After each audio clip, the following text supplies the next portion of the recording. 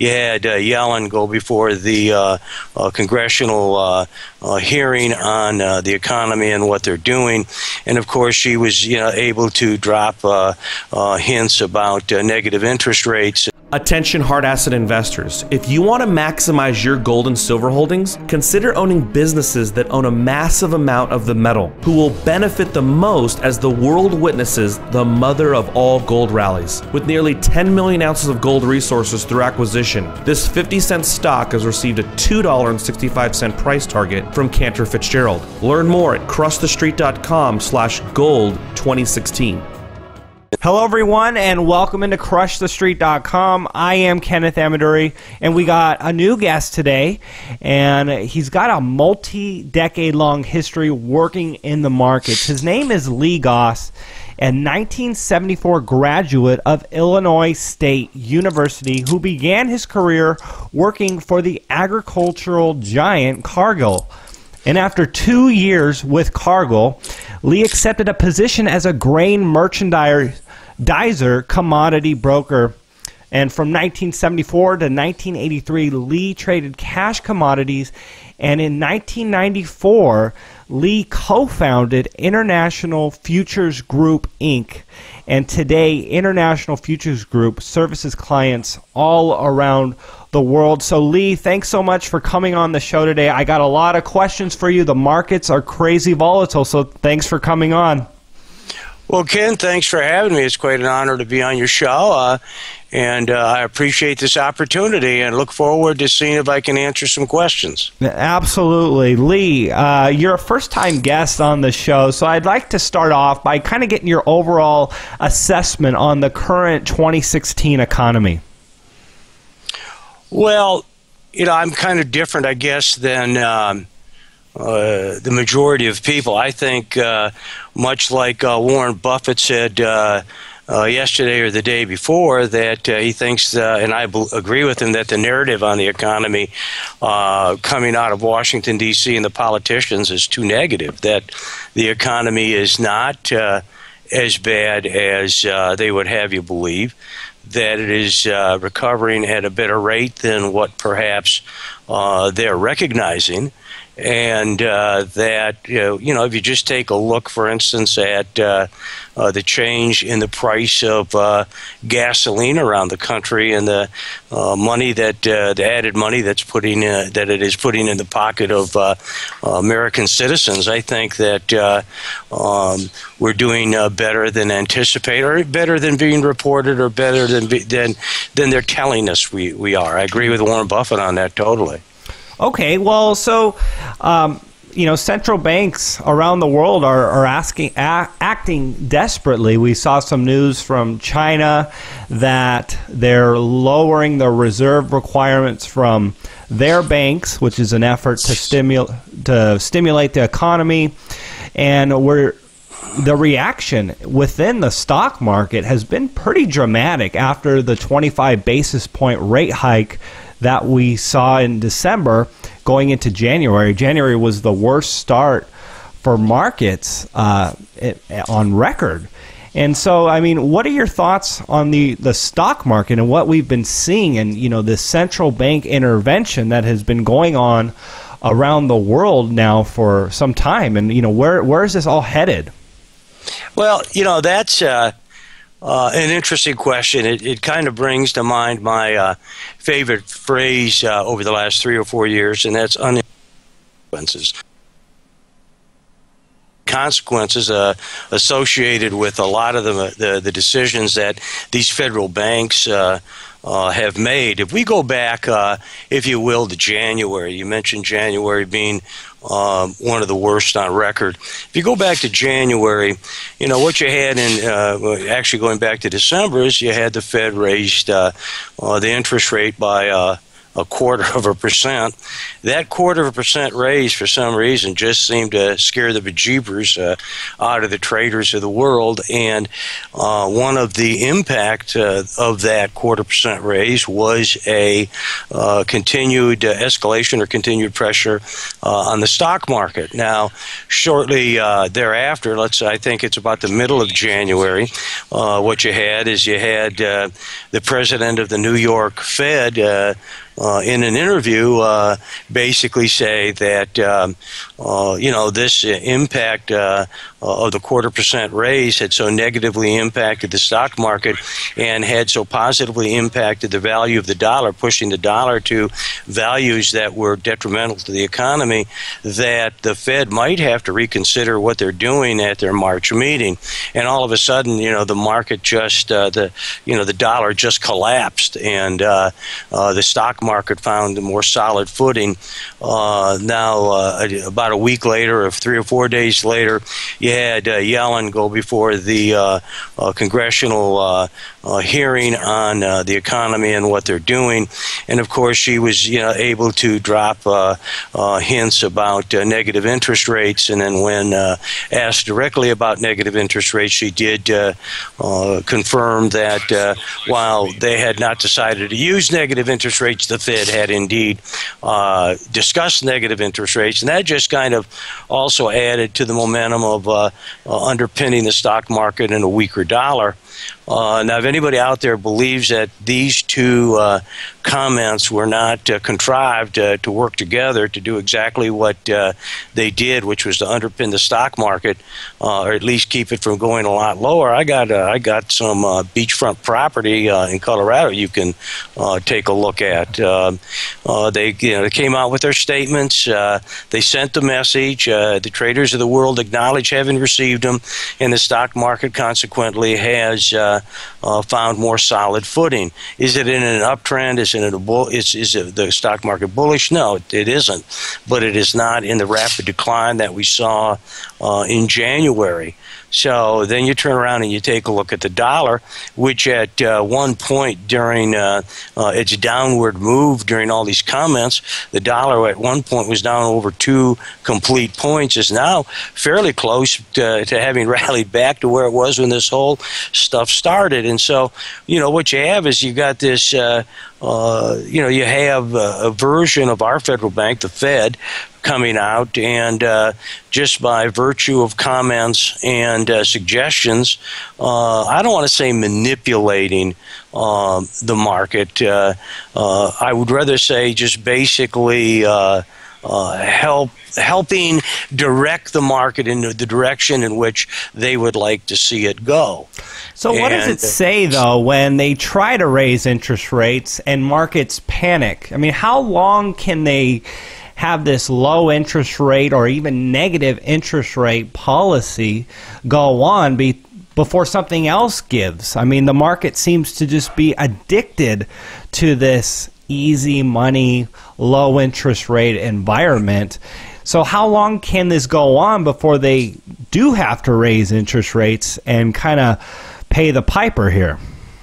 Well, I think that um, uh, going, you know, if you quoting uh, or not quoting, but, but citing uh, one of my favorites, which is uh, Jimmy Rogers. He came out not too long ago and said the problem with uh, the federal banks around the world is that they're being ruled by academians and bureaucrats, and they don't really have a true sense of what's going on in the market, and uh, what they're doing is is more harmful than beneficial. And so, when will it all come to pass? You know, one of the things Jimmy said in that interview was that uh, they're, they're trying to determine the, the strength of the economy by the value of the stock market. And that stock markets are made, like all markets, to go up and to go down. And they're artificially underpinning the stock market uh, to, uh, to, to uh, give us the impression that uh, uh, that the economy is, is, is, is doing okay and it's the wrong vehicle. And you say, when will it come to an end? You know, I don't know precisely when it'll come to an end. Obviously, if I did, I would probably be in uh, the Bahamas instead of Chicago. But one of the things that we do know is that eventually markets exact a toll and that a toll will come, and that we will see uh, the stock market uh, uh, retract to a point uh, where people will want to be a buyer without the benefit of an artificial stimulus. Where is that? Uh, I don't know. I, I, I, again, I personally believe that the economy is doing better than what we're being led to believe, and I think that they're using the wrong tool to measure it. Which is the stock market. I think if you take a look at some other indicators that are out there, um, uh, I, I, think we're at a a point in time coming off of the 2008 disaster where we're about ready to to turn the corner with the degree of energy. Hmm. Um, this year should mark, I believe, the last year in which shadow inventory of foreclosed houses will hit the market. And once we kind of get through that, um, I think uh, we're going to be in very, very good shape. Uh, well, there's no question that the stock market has become something the government and the economy has been addicted to going up. And, you know, I, I actually don't have the facts right in front of me, but um, I know that every move down the stock market does. I mean, the government loses a lot more money in taxes than it did, let's say, in the 1920s when we had the, the Great Depression. I mean, the the way it's set up now for each you know point or, or whatever it is that the stock market goes down, uh, there's a, a, great deal of loss that happens in terms of taxes. Uh, and so I, I, do know that they are very dependent on a rising stock market, and we've seen them go to great extents to support it. And even today, we're we're doing this interview on Super Tuesday, and just watching you know Trump take the lead for the Republicans and Hillary in the lead for Democrats. I mean, we know that Janet Yellen is a Democrat. And I, I'm almost wondering the extent that the Fed will go to stabilize these markets for the sake of Democrat credibility uh, going up until the election here. Well, you know, I would assume that uh, uh, the chances of that happening are very, very good. Uh, it is not uncommon for the Federal Reserve uh, to take uh, or to issue uh, policy that is beneficial to the incumbent coming into or the party coming into an election. Uh, the uh, the ones that uh, didn't benefit from it, in my memory, were George Bush number one when Greenspan kind of. Um, took a, an opposite approach to it even after uh, Bush number one reappointed him. Uh, and Bush number one even made a statement to the extent that he was so surprised at what Greenspan did uh, uh, that, that he was shocked that he would do it uh, going into an election. And then, of course, the other one would have been uh, McCain in two, you know, in, when he ran. And of course, at that point in time, there was nothing the Fed could do to, to salvage that. It was such a mess. But you know, are they going to do it? Sure, they're going to do it. It's common for them to do it. I think they will do it. the problem I think that the Republicans have is that depending upon, I mean, if Donald Trump is going to be your candidate of the, Republican Party, or if Cruz is the, the, the candidate of the Republican Party, I don't think the Fed's going to have to do anything to boost the economy. I think that uh, uh, the Republican Party winning with either one of those heading the ticket is slim to none. Uh, the the the one candidate. Well, I don't. This is just my opinion. I've read more about it today in some of the publications.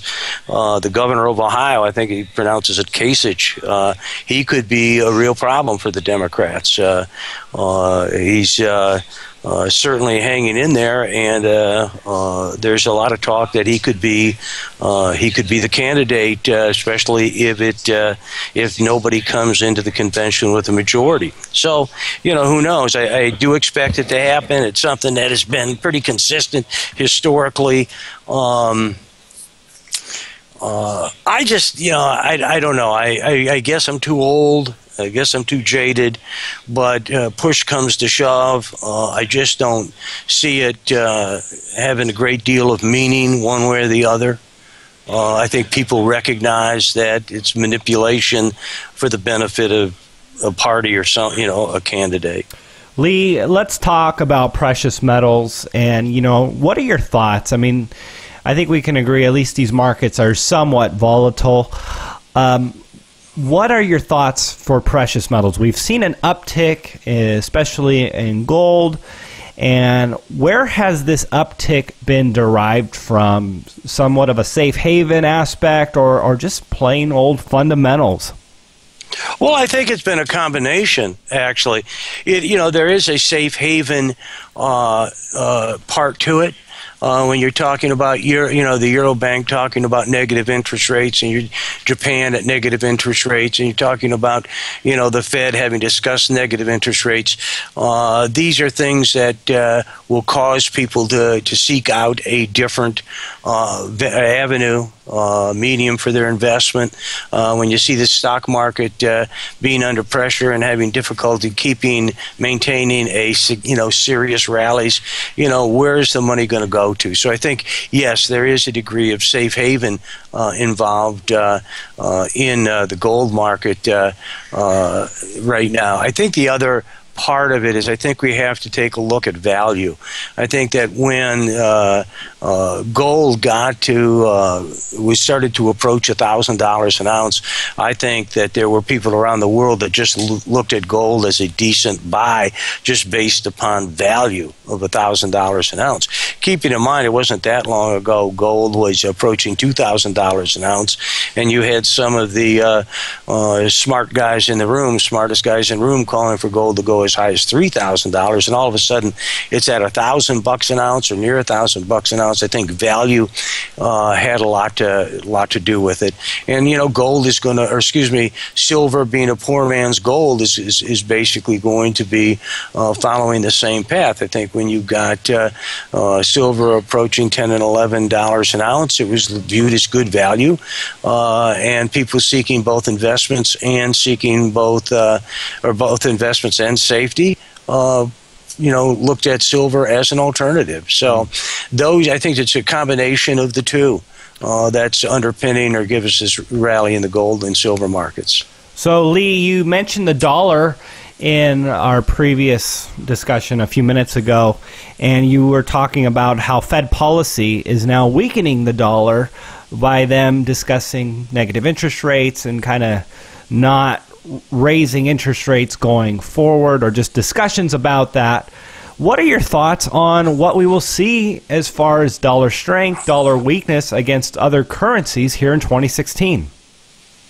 Well, we'll probably see a lot of what we have, you know, seen here in the past uh, six months or a year. I think that a lot of the policy decisions that the that the Fed banks are making uh, are coming up with are having a, you know are basically they're they're taking making those policies or making those decisions with a hoping for the direct impact of cheapening their currencies uh, the world of export. So I think that uh, what you're going to see is, no matter what the currency is, as it gets uh, to levels that it, that the that the respective Fed governments believe are hurting their exports, I think you'll see policies or statements or programs or measures being introduced to uh, drive those currencies. Uh, uh, whatever, whichever they may be, to lower levels uh, uh, to uh, maintain their export market. Um, I mean, this is my opinion and nothing more than my opinion, but what we have done, you know, unintended consequences, what we have done with the quote unquote uh, free floating currencies and the economic uh, situation that the world uh, has found itself in since 08 is we have found that the various uh, institutions, federal institutions around the world, are not necessarily real happy about or real crazy about absolutely free floating currencies, that they're going to take measures uh, to uh, either you know uh, take, uh, move them lower or move them higher, depending what the case may be. Uh, but mainly move them lower from higher levels to keep the exports uh, from happening. If you take a look, if you don't, if you remember, not too long ago, where the Swiss came out, the Swiss Federal Bank came out, the Bank of Switzerland came out and said it was going to, you know, basically peg uh, the the value of the Swiss to keep uh, things stable with inside the nation, and then on one day, months and months, months later, came out and said, well, they've, you know, they're going to quit doing that, and we saw within uh, a millisecond, uh, tens of millions, if not hundreds of millions of dollars change as uh, unprecedented move, an unprecedented move in the Swiss franc took place. So, uh, what do I think is going to happen? I think the Fed banks, whether it's the the Bank of J- Japan, Bank of China, the Fed, the Euro Bank, the Bank of Switzerland, they're going to continue to manipulate or maneuver their policies to keep their currencies at levels where they think they need to be to uh, stimulate or at least protect their export markets. Lee, so in these volatile markets here, uncertain markets, what is your investment philosophy and how do you personally advantage the volatility and uncertainty in these markets? Well, that's a, you know, that's a, a, a good question. Um, I think that you know, if a person's looking at you know a, a more traditional uh, stock bond type of uh, investment strategy, uh, you know, you're better off just looking long term and uh, uh, not taking to heart uh, much of the short term machinations of the market. It'll drive you crazy. I think if a person is going to be taking a look at trading commodities, which is a much shorter term type of instrument, one what one needs to basically concern themselves with and, and basically ask a question uh, every day is what you know might happen today what what unexpected event could happen today in terms of an announcement from any of the fed banks that could impact what i'm doing? And uh, uh, once having done that, if they decide to trade the markets, risk management is of absolute importance, just so that you're not ending up standing in front of a very short-term runaway, runaway rail car. Uh, keep in mind what's happened in our markets uh, many times, in my opinion, uh, when these Fed banks, these federal bankers from around the world come out with their statements, with their, their, their policies, is that the market will react in a very violent, manner, very volatile and violent manner. And then when the market has an opportunity to digest what has happened, a day or two or three later, you will see, in my opinion, you will and in my opinion, will continue to see the market recover from that violent move and go back to, at, above, or near levels from which they started to begin with. So, do you think that we're going to be seeing new highs for the stock market here in 2016? Is that a is that a reasonable uh, uh, assertion? I don't think so. I don't think we have to have a bad 2016, but I, I, I just don't. I don't believe that I just don't get the feeling that we're going to see new highs. Can we rally from here? Yeah, I think we can rally and probably will rally from here to some extent. Will we go back into a long term uptrend in 2016? Maybe in the second half of the year we'll do that. Do I think we'll make new highs in the stock market? No, I don't. Hmm. I just don't think there's the energy out there uh, to get that done. I think there's too, there, there's too much uh, uncertainty in the marketplace and when the market has uncertainty, especially when you're taking a look at an equity market, uh, the answer to that uncertainty isn't to buy more. Uh, but the answer to that uncertainty is usually to buy less or not buy at all or get out. So I mean, and the markets are very uncertain, and that's one thing that I've learned. I mean, I don't think anyone was expecting oil to go from hundred dollars a barrel down to thirty dollars a barrel and below, mm-hmm. and it happened. You know, it happened, and so you know, I hear what you're saying. You know, it's just it's kind of hard to to predict, but at the same time, you know, where we've been so accustomed to the market kind of having a correction and then going up that we kind of forgot what it's like to see it go down lower lower and then uh, go really into a bear market here and i think that if it does happen will become a self-fulfilling prophecy because you know just like oil did i mean i i, I really think the the situation, I mean, the reaction to what we saw in 2008 with excessive money printing and QE and ultra low interest rates, I mean, there's going to be a release of that energy in the near future. And, um, it, you know, I, I, it's hard to say what will exactly happen, but I do believe that there will be an impact on our markets one day or another. So, Lee, I, I, wanted to give you an opportunity here to just share some final thoughts before we uh, said goodbye. Obviously, let everyone know about what you guys do and offer at International Futures Group, and uh, just some final thoughts. Well, International Futures Group is uh, a retail uh, commodity futures trading uh, company. We're located in Chicago. Uh, we have a number of um, uh, brokers, uh, all of them uh, very experienced, uh, with uh, you know probably specialty would be a good a good word. We all you know we all have kind of our specialty. Um, what we try to do is. Uh, basically, Uh, impart good, solid, uh, objective uh, information and service those accounts, the commodity trading accounts uh, at uh, you know at a competitive uh, cost to the account while providing you know superior service in our opinion and uh, we've been around. Uh, you know, I've been uh, trading commodities now since '75, and my partner Tom has uh, been trading commodities for even uh, longer than that, and Steve uh, slightly shorter than that. And so, you know, we've got about hundred years plus of total commodity trading experience among the three of us. And you know, our our brokers that we have working for us here, you know, have similar type of experience. So, well, we just you know we, we are not much of a we don't high pressure people. You ask a question, we'll give you the answer that as we see it, best of our opinion, and try to service the people in a fair manner. Lee Gaus, everyone of International Futures Group. Lee, thanks so much for coming on the show with me and sharing your thoughts on uh, the markets.